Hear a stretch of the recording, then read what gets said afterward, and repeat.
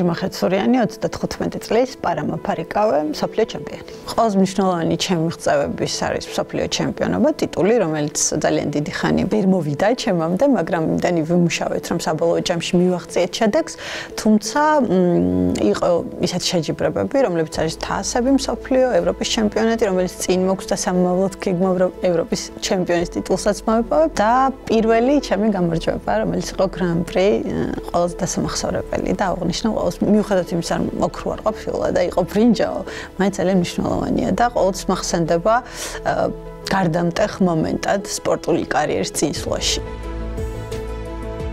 თავიდან, როდესაც მითხრეს ამ სპორტის არსებობის შესახებ ვიცოდი პრინციპში, მაგრამ თეორიულად და მქონდა შეხება ისე ზოგადად რა.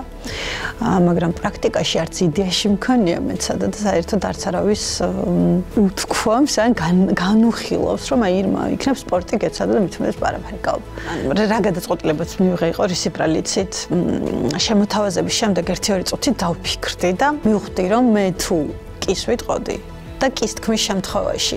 შემდეგ უკვე რაღაც შედეგს დავდებდი, იმიტომ რომ ხვდებოდი რომ უმაღლესი მიღწევების სპორტი იყო და არ იყო ეს რაღაც მოყვარულის დონეზე ჩემი ჭია გამეხარებინა რაღაც.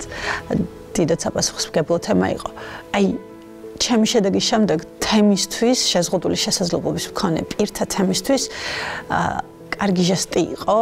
მე თქვა რომ არ არის აუცილებელი იყო სახლში 24 საათისგან 24 შვიდზე და აუცილებელი აქტივობა, აუცილებელია გარეთ გამოსვლა, აუცილებელია ჰაერის ჩასუნთქვა, სიცოცხლის სიყვარული და ასე შემდეგ. ჩვენთან დღეს შეიძლება ნაკლებად, მაგრამ ძალიან დიდი პრობლემა იყო ცოტა წლების წინ, ცოტა ხნის წინ ვიტყოდი, იმიტომ რომ დაახლოებით 10 წლის წინ უფრო მზაფრად შეიმჩნეოდა სიმძიმე ა თუ როგორ განიცდი და შეზღუდული შესაძლებლობის მქონე თემით ნეხს ანუ რაღაც სიმძიმეს აი სირთულებს ვერ ლახავდნენ იმ ბარიერებს რაც ხვდებოდათ მდგომარეობის შეცვლის შემდეგ და რეალურად ხო გავთვალე და ვიფიქრე რომ თუნდაც მცირე წვლილი, მაგრამ მოდი იქნებ ამ სპორტის სახეობით გამომივიდეს ჩემი სათქმელი და მივიტანო იმ ადამიანებამდე, რომლებიც თვლიან, რომ აქტივობა არაფერს, ну, საჭირო არ არის და სპორტი ხომ საერთოდ რა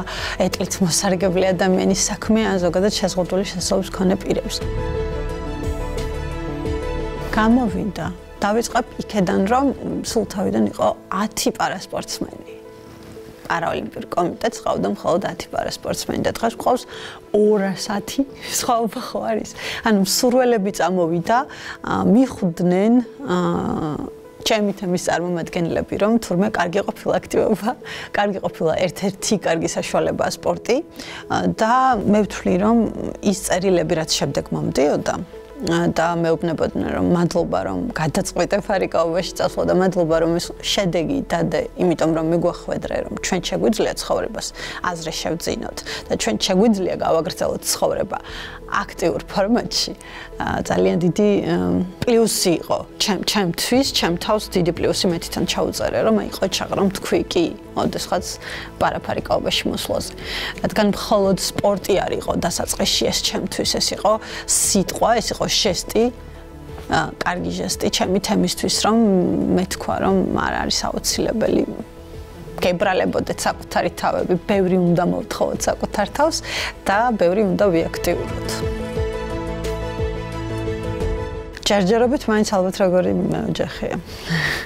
პირველი ეს აქვთ, იმიტომ რომ რაღაცნაირად როგორც მე ვასაცირდები ჰუმანიტარულ დახმარებასთან და საქველმოქმედო ობიექტთან, როგორც ეიტლით მოსარგებლე, ისე ასოცირდება ხალი დღესდღეობით მაინც ну, უმრავლესობაში, როგორც დეიდა, როგორც შობელი, როგორც სამზარეულოს ესე ფუსფუსა არსებობს. ძალიან ბევრი стереოტიპები და ნავარჩიე ყველაზე მნიშვნელოვანი თქვენი ადგილი აქ არ არის.